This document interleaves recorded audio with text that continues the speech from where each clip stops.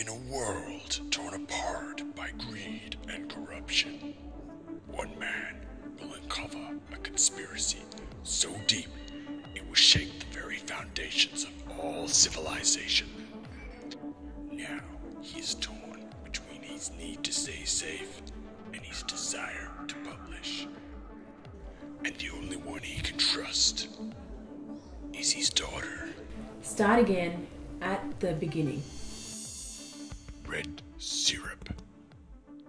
Coming this October.